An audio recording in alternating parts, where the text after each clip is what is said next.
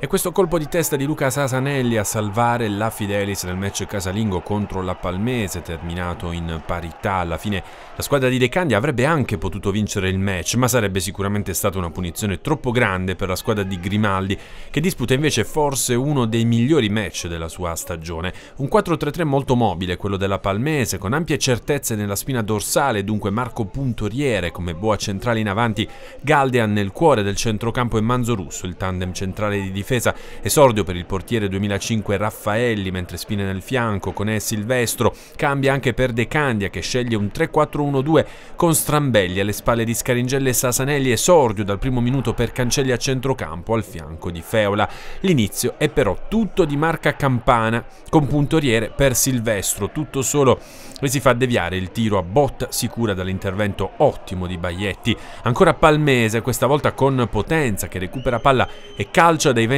metri, sfera di poco sul fondo. La prima azione costruita dalla Fidelis arriva all'alba del quarto d'ora con Sasanelli che da posizione defilata costruisce un buon tiro, che resta però centrale per l'intervento di Raffaelli senza problemi. Al ventesimo però la Palmese passa in vantaggio, tiro dal limite di Conè, non perfetto nell'intervento Baietti che serve Silvestro, tutto solo bravo a segnare la sua quarta rete stagionale, il vantaggio ospite.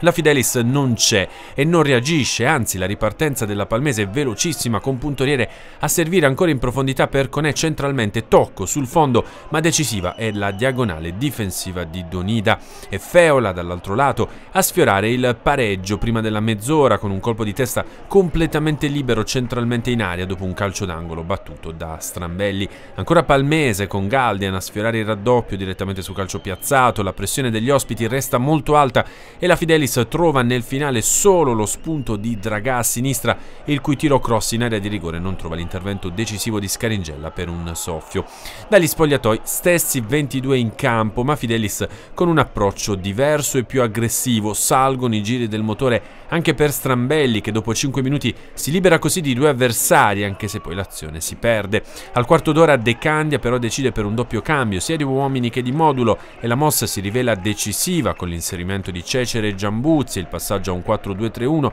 dopo poco con eh, l'ingresso anche di Russo. La pressione aumenta e la Palmese abbassa decisamente il proprio baricentro, così al 22esimo arriva il pareggio, Strambelli inventa a destra e Sasanelli capitalizza al meglio la sua prestazione non esaltante fino a quel momento con un colpo di testa che rimette la sfida in parità. Settimo gol stagionale per l'attaccante andriese, classe 2004, sempre più prolifico. La rete del pari è una scossa per la Fidelis che ci prova e sfiora raddoppio poco oltre la mezz'ora in almeno due importanti occasioni. La prima sugli sviluppi di un corner con Sante Russo ad anticipare tutti e la palla che però termina sul fondo di poco, ma è clamorosa l'azione costruita al 36esimo quando su calcio di punizione la palla viene svirgolata da Scaringella ma diventa un assist comodo per Donida che tira a botta sicura nel cuore dell'area di rigore ma non inquadra lo specchio a Raffaelli completamente battuto e anche la parola fine praticamente sul match. Terzo 1-1 nella storia tra le le due squadre ad Andria nelle quattro sfide disputate sin qui